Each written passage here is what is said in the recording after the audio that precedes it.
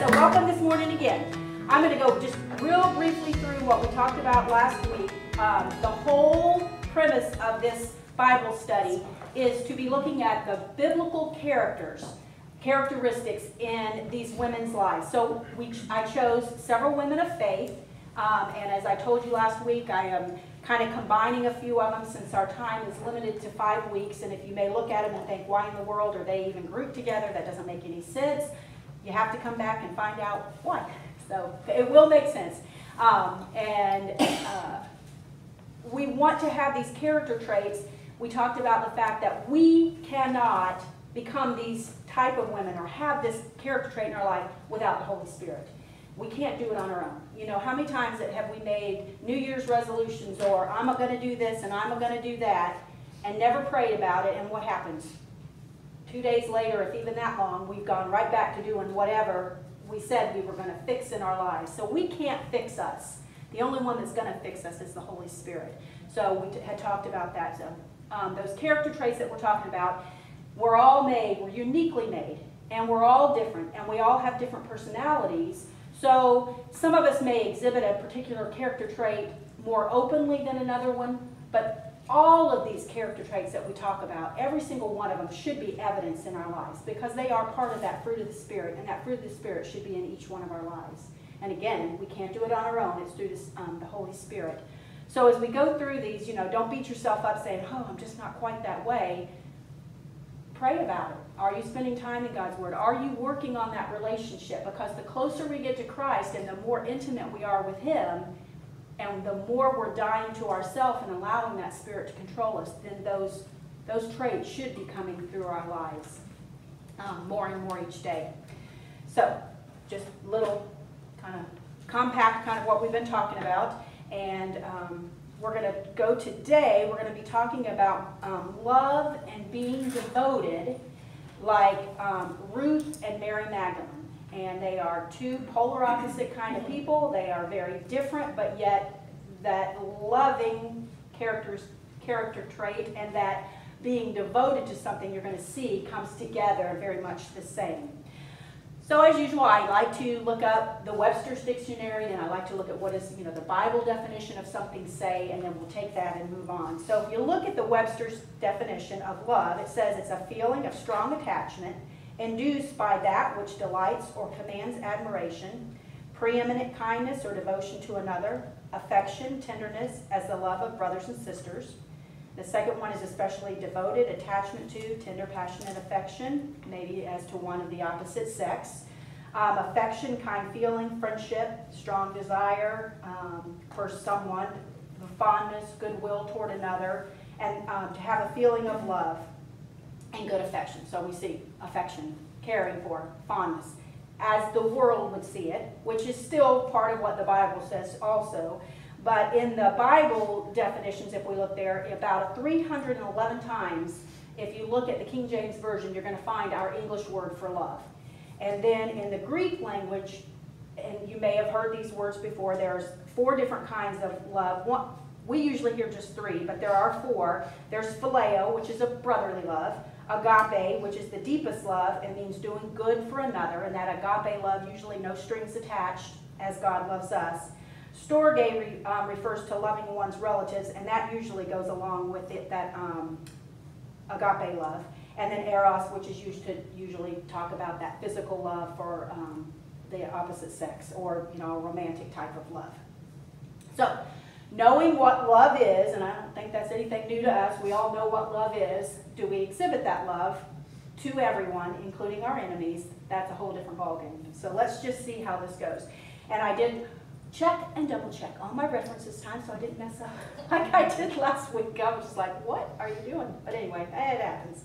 But since we're in Ruth and it's all in the book of Ruth, can't mess up there. So this is the story. I'm just going to give a brief summary of the story of Ruth. So many of you have heard the story numerous times, so this won't be new to you. Some that may maybe um, you've not really read through Ruth, but um, I'm just going to, like I said, I'm just going to kind of go through it. I'll give you a little bit of history of some of the people during that time. So this is something that I learned. I did not know what Ruth's name actually meant. And if you look at it, her name means friend or compassionate friend. And as we go through her story, we'll see how that character trait actually, it just matched her name so, so clearly. Um, so if we start in the opening of the account, we see that there was a famine in Canaan. So a man named Elimelech and his wife Naomi and his um, two sons, Mahlon and Chilion, decided that they were going to leave because the famine was so um, bad, they had to go find some food. So they traveled and landed in the um, area of Moab. And just a little bit of history about the Moabites. So knowing this history, you kind of understand why there was a little bit of tension. This was a tribe that was descended um, from Moab, who is the son of Lot, who had that incestuous, incestuous relationship with his daughter. So we see that that was not a real good start to a people's. Um, and then when we read in the book of Judges, the king of Moab and the story of Balak, when he went to get Balaam and wanted him to curse the Israelites, that was the same people. During the time of the Judges, the Moabites were constantly oppressing the Israelites until finally um, the king of Moab was assassinated by Ehud, which was one of the judges. And if you read that story where he stabbed him because he was so fat and he couldn't find the knife and all that. And then during the time of King David, the Moabites were actually then, they had been um, under the uh, rule of David and they were their vassals. So at that time they were not um, giving them a hard time. But they did this only until the civil war broke out. And remember, after David and after Solomon, the kingdoms divided to the northern and the southern kingdom. So this was a great chance for the Moabites to kind of get out and go and attack and to revolt. And then we see later on in history that the southern kingdom finally fell under the Babylonians, um, King Nebuchadnezzar, and we, if you know that story, and then the Moab fled, and over time their identity just kind of was lost. But that kind of just gives you an idea of who they were, where they started, and this is where they landed, and this is where Ruth is from. It is a land of idolatry, many gods, and all that. That's what they were believing in. So Elimelech and his family were definitely out of place there. As a Jew, that they would not have believed the same thing as the Moabites. Carol, did we get a handout? Yeah, I'll give it to you when we're all done. Yes, ma'am. Okay. Um, continuing on with this story, we know that Elimelech dies. And um, so here's Naomi left as a widow with two sons. Her two sons take wives in from Moab, um, and we know that their names Orpah and Ruth. And they lived there for about 10 more years, and then as the story goes, we know that, that both the sons died. Well, Naomi had gotten word that the famine was better, that there was food now, so she wanted to return home. So she got ready to return home, and she told Orpah and Ruth, you all go back home, go back to your mother's home in hopes that they would be blessed and that they would have a good life, possibly find another husband and be able to move on. And she was going to go back to her home. And as we know, Ruth said, no, I'm not going to go. And I'm going to read what she says verbatim so I don't mess any of it up. But she said, she, you know, she kept clinging to Naomi and saying, I'm not going to go. And please don't try to keep me from turning back. And she said, for where you go, I will go. Where you lodge, I will lodge. Your people will be my people, your God, my God. Where you die, I will die, and there I will be buried. May the Lord do the same to me and more also, if anything but death separates me from you. So, you know, here is a picture of true love, true devotion, which even though we're talking more about love, we'll see that this is, she was totally devoted to Naomi um, in her, in her mother-in-law. And, you know, she turned, she turned, is turning away from what she grew up believing. She believed in those gods.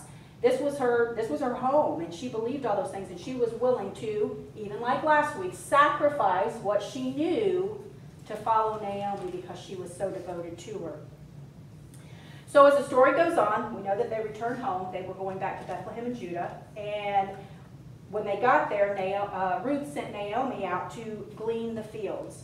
And in, when gleaning, that was the grains that would fall. When the, the reapers would go out and get all the grain, and any of it that fell to the ground, they allowed these the poorer people to come in and pick up these grains for themselves.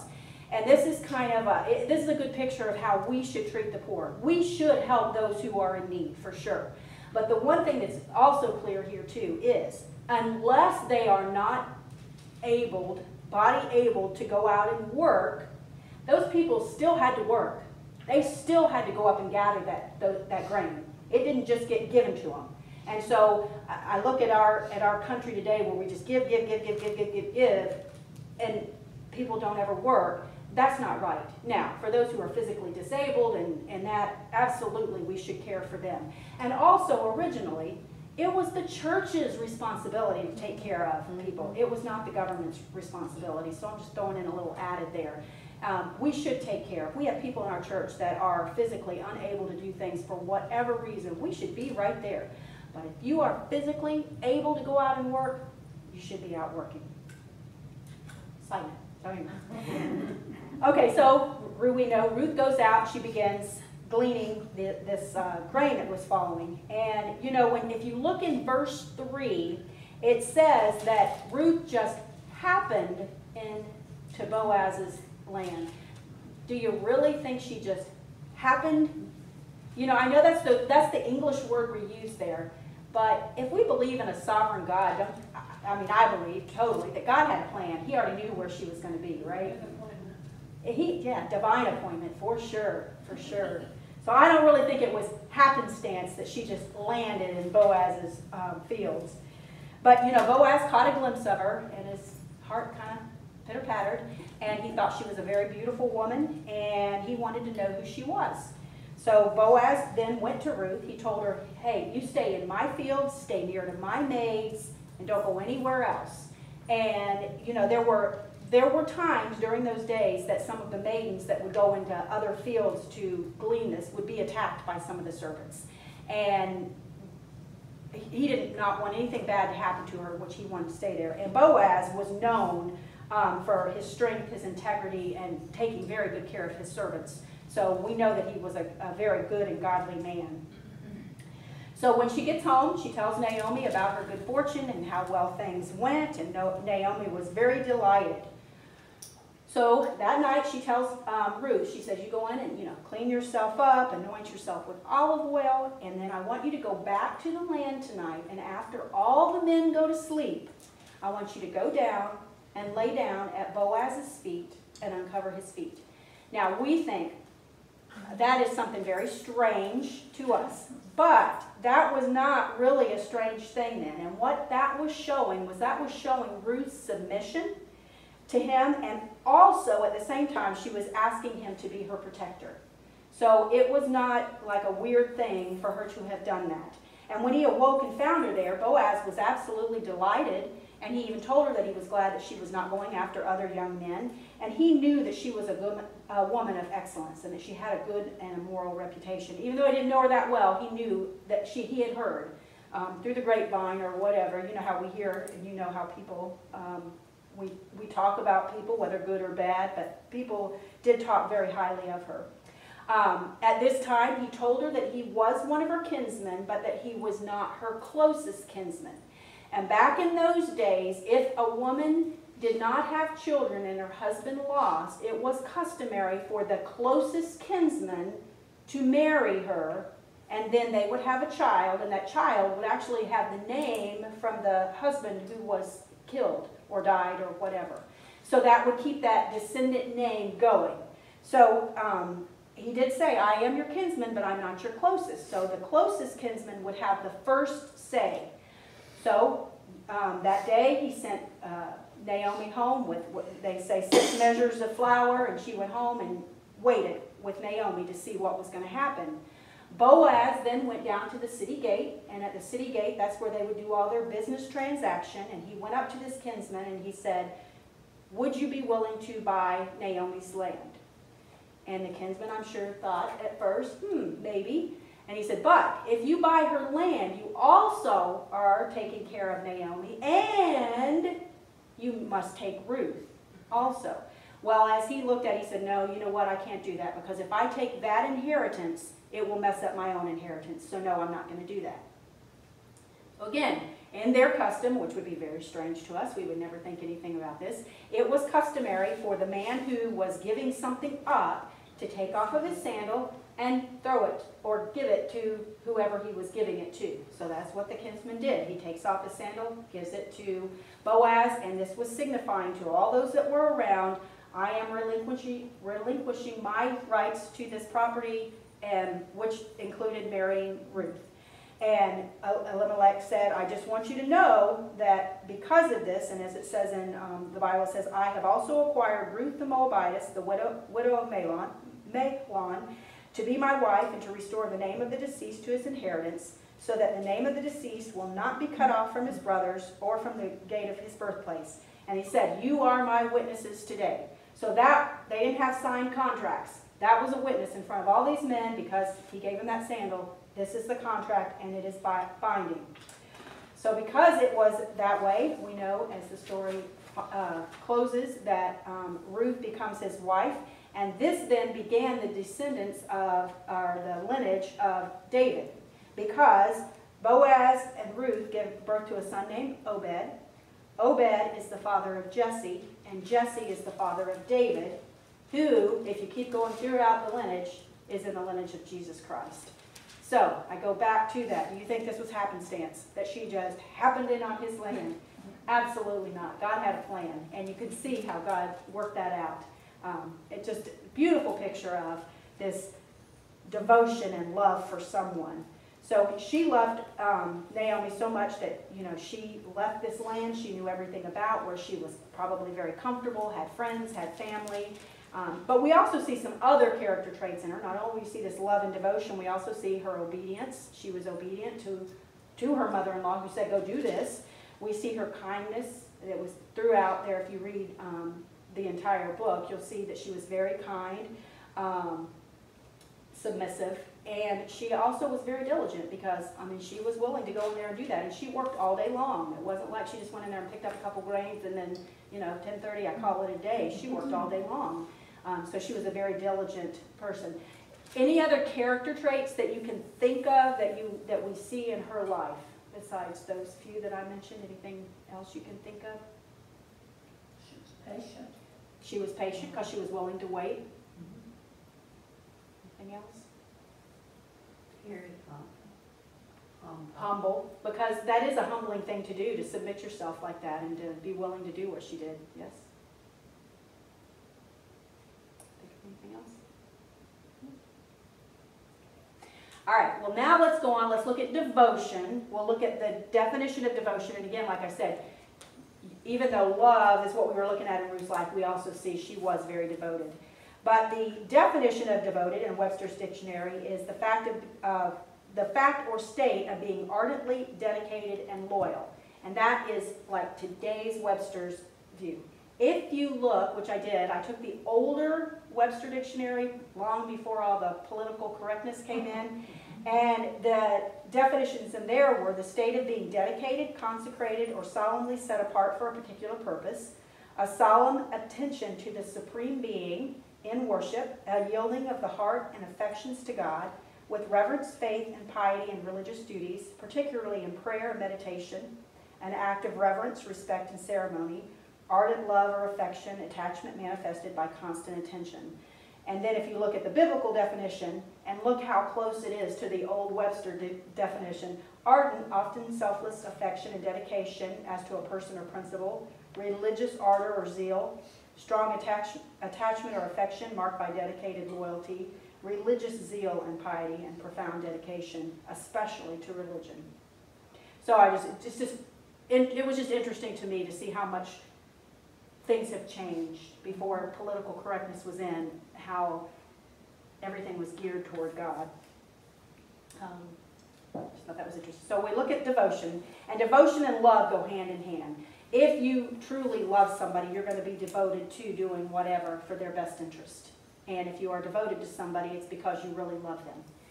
So we're going to look at the story of Mary Magdalene. And um, she we don't really know a whole, whole lot about her prior to her encounter with Jesus.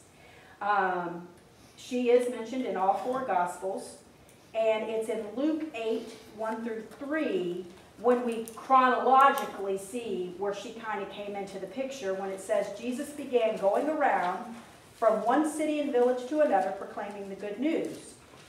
It tells us that the 12 disciples were with him and also some women who had been healed of evil spirits and diseases. Mary, called Magdalene from the city of Magdala in Galilee, from whom seven demons had come out, and Joanna, the wife of Chuza, Herod's household steward, and Susanna, and many others who were contributing to their support out of the private means.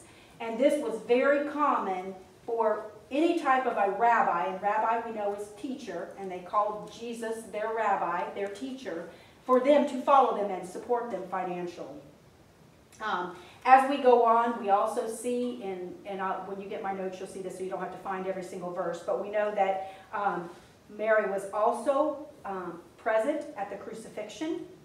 She, when others were, you know, hiding in fear, because some of them were afraid, and you can find that in Matthew 27, 56 and Mark 15, 40. She was present at his burial in Matthew 27, 61 and Mark 15, 47. She was at the empty tomb, and that's in Matthew 28, 1. She saw an angel after Jesus' resurrection in Matthew and Mark, and she saw Jesus himself after the resurrection, which is in uh, accounts in Mark and in John.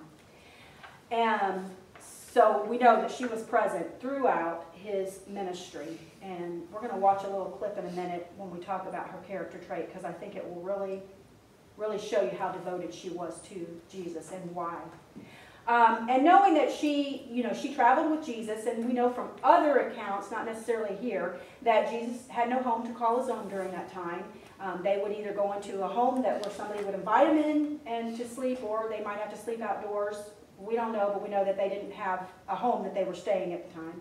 We also know that they were at serious risk because if you go back and you study a little bit of the, the history and other bi, uh, biblical texts, you'll see that um, John, the, he started his ministry after John the Baptist was um, arrested and was in jail. And John the Baptist had done the majority of his ministry um, in Herod's ter territory of Perea, Perea, I think that's how you say it. Um, and Herod did not like that, and we know the story because he outed Herod, Herod threw him in jail.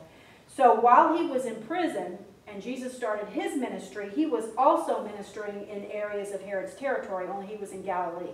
So Herod not only took this as like he was um, threatening, but it was a, it was a challenge because you know how dare you go into my area and do this. So despite these risks, knowing that their lives could be in danger, Mary, as well as all of the other disciples, opted to stay with Jesus and continue to travel with him, showing that true devotion. Because you've got to be really devoted and really believing and really truly following someone to follow them under those circumstances. I mean, how many of us would be willing to go out and sleep, you know, on the ground every night?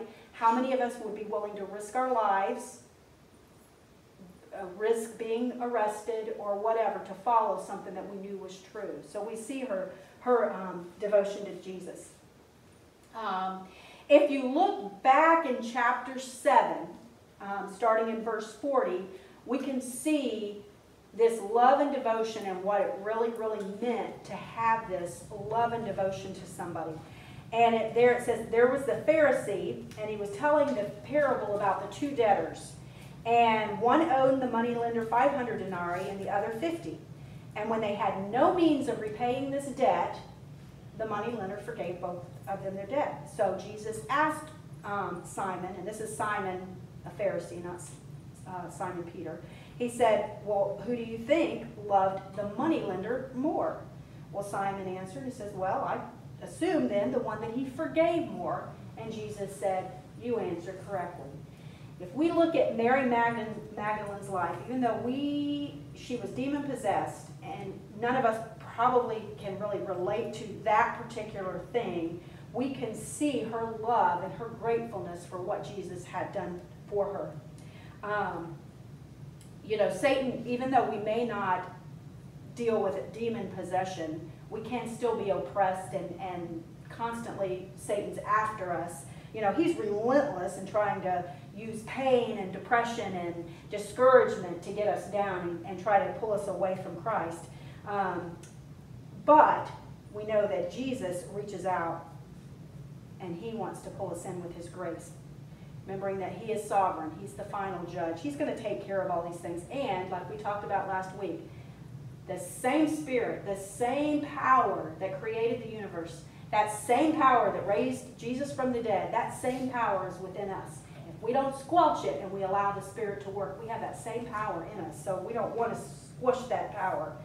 Um, and the scripture reminds us in 1 John 4 4, little children, believers, dear ones, you are of God and you belong to Him and have already overcome them, them as the agents of the Antichrist, because he who is in you is greater than he, Satan, than he is in, that is in the world of sinful mankind.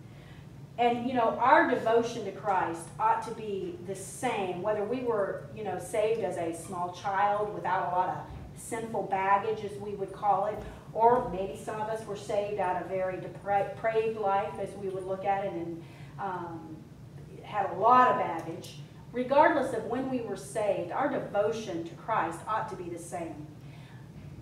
But I am sure that it's very easy, especially if we were saved as young children, and not and not having ever experienced that bondage of drug addiction or that bondage of alcoholism or that bondage of sexual immorality or whatever we as humans consider the big sins if we don't have those in our lives i think often it's real easy to get complacent and not really understand and appreciate what christ has done for us. And you know somebody that's come out of a really really bad area and their life has gone I mean, you can see that fervor. But you know what? Ours should be the same. We should have that same devotion and that same um, love for Him.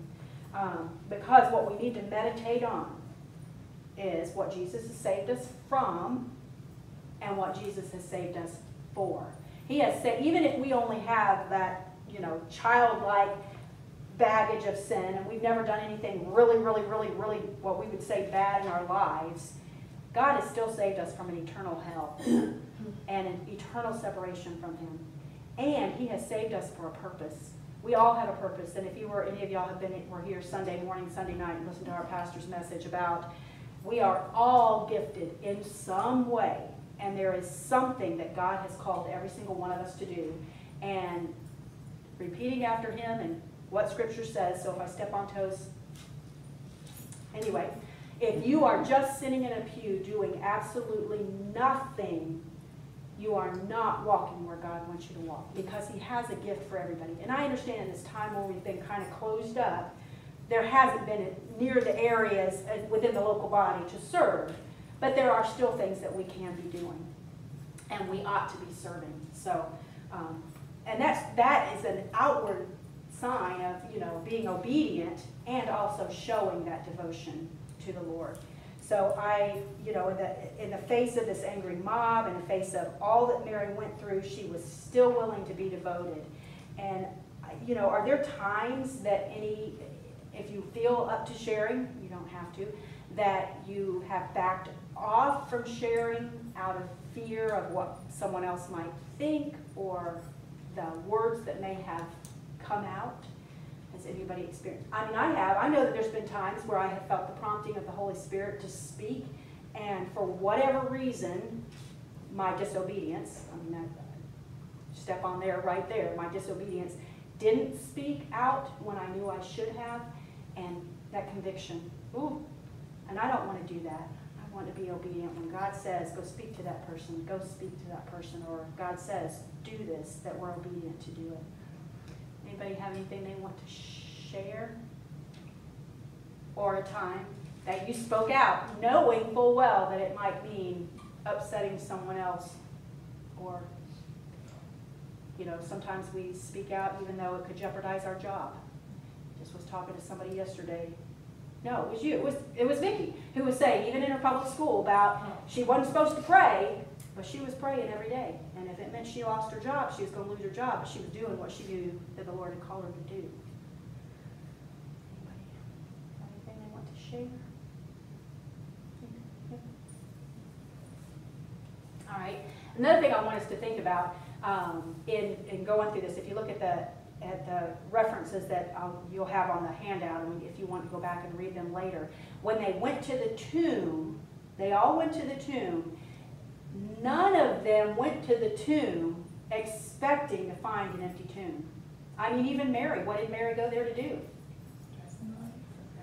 to prepare his body and anoint his body. They and, and and how many times if you go back, if you read through the gospel, how many times did Jesus told him that he was going to die and he would rise again? And how many times did they miss it?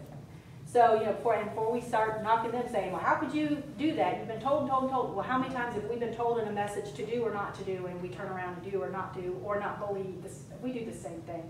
But they did not expect to see an empty tomb, and so they were very shocked. And the only reference that we see, if you read in John 20, uh, 20 chapter 20, verse 8, there we see that they're finally beginning to understand when he says, Oh, he's risen again. We get it. And after that, then they see it, and of course, you know, further um, passages where Christ appeared to them, and they and they totally finally understand it. And you know, if you look at different commentaries, and they say, "Why didn't they get it? Why didn't they get it?" And it, they just didn't really understand exactly what he meant. I mean, even when when Lazarus died, and you know, and both Mary and Mar- Martha said, "If you had been here, he wouldn't have died." Well, don't you believe he's going to rise? Well, yeah, the resurrection, he's going to rise. No, well, he can rise now. They just, we don't see, we just sometimes just don't get it. And I believe that, you know, as a maturing Christian, there's going to be things that we're going to read, and some things we're really going to get, and then two years later, we're going to read the same passage and be like, how did I miss that? And, Don't don't we do that with Christ's return? Ah, absolutely. Because I hear people say, yeah, they've been saying that for years. They've been saying that for years. One day it. It will, mm-hmm. it will. And one day, every knee is going to bow. And I've put that several times because we look at some of these very pious remarks and the things that they're saying. And, and for us too, one day we are going to bow. You know, you'll hear a song about, I'm going to dance for Jesus and I'm going to do it. And we are. But we're going to bow first. No question, we're going to bow You know, first. another thing that I do is when I pray, I pray for a certain thing. And so many times in my life when I, my, my prayer is answered, God answers it up here because I'm so limited about where my brain goes that I think, okay, that's gonna be where it'll be good. But that's not how God answers it. He answers it like, and it's amazing. He sees the overall picture. Right. I liken this often to a um, embroidery piece, you know. We look underneath and see all the stuff and all the junk and all the problems and all that, but God looks at the overview and he sees the beauty and he knows the plan. I heard a children's sermon one time, and it was that God, uh, about a jigsaw puzzle, and God has the box top. And when we look at all those puzzle pieces, we can't see anything, but God knows what the picture's gonna look like. Absolutely, absolutely. And I, and I hope that we will all live, as we, as we've been talking about Revelation, we've been talking about the rapture, the second coming, and different, there are some things that are not absolutely clear. I know that, um, it was mentioned that we would, that believers would be at the, um, white throne judgment, and that we would see loved ones, friends cast into hell, and then after that, Jesus would wipe our tears. And we had several questions about that, and I began to research because I didn't know, I, I'd never heard that before. And I researched and researched and researched and asked several people, and this is kind of where I've landed, and right or wrong, I don't know. Scripture doesn't really come right out and say we're going to be there. However, if you look at previous texts and other texts, it says that once the, rap, the, the church is raptured, we will never be away from Christ again. Well, if Christ is going to be at the judgment, then where are we going to be if we're never going to be separated from him? Good point. I don't know that. I'm just saying, I'm just, just to be thinking about it. But regardless of whether we are there or not, we ought to live with that thought of knowing that we have friends and family that are going to be cast into the lake of fire. What are we doing now so that that doesn't happen? Um, my heart has been so convicted about not sharing and not being concerned that we just go about our daily business and we're so wrapped up in doing this and doing that and being in church and our fun little happy family. We forget that there are millions and billions of people that are going to spend eternity in hell. And what are we doing? Whew, my heart's been convicted. So I just leave that with you thinking about that. Whether we are or not, we ought to live concerned about that. So I know it's very easy right now, and the times that we're in, our country is an absolute mess. It seems like every single day we see something more evil and more evil and more evil and more evil. And it's real easy to get downcast. It's real easy to get depressed. If you're watching the news every day, stop. Don't, because you are going to live in an absolute state of depression. But if we look at these promises that God fulfilled from Genesis through, is there any promise in here that He did not fulfill? No. He fulfilled every promise He made, happened. Did He promise He's coming back and He's going to right it all? He did. So we can live in that hope. We can live in that hope. So that that's the joy we want to close in, in, in knowing the hope that God offers us if we are His children. So He said He's coming back, and we can trust and believe and just know that He is coming back. And in the meanwhile, what are we doing? What has He called us to do? We ought to be doing what He's called us to do.